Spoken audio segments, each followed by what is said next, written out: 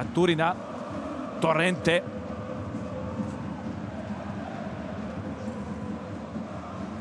Rekao sam da je Torrente veli dobitnik e, dolaska Nenada Bjelice, rekao bi to i za Demija, tamo sada Sučić, pa Ristovski, Ristovski, Kulenović i Dinamo vodi 1-0.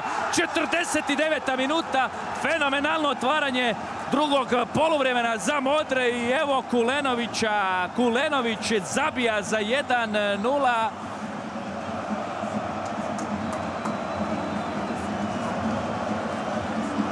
Nije moglo bolje početi drugo poluvremene, iako ovdje na ekranu piše gol ček, nešto se provjerava, vidjet ćemo točno što, dok ovdje Dinamovi nogometaši slave, jasno dok slave i navijači na ovoj e, južnoj tribini. Sandro Kulenović je strelac, e, još se to provjerava, još ćemo malo pričekati s potvrdom ovog e, pogotka. Rog Rog ide prema napred, Rog osvojio dosta prostora, pa otvori ovu lijevu stranu gdje je Baturina.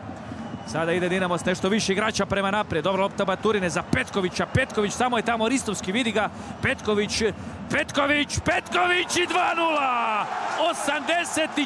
84. minuta. Dočekao je Dinamo ovakvu jednu situaciju. Povukli su se, pustili su Salzburgu i u situaciji kada imaju igrača više da Salzburg diktira tempo, da Salzburg ima posjed lopte i onda dočekali brzu tranziciju Petković za Ristovskog, opet Ristovski pravovremena povratna lopta, Miran, precizan, Bruno Petković i Dinamo odlazi na 2-0.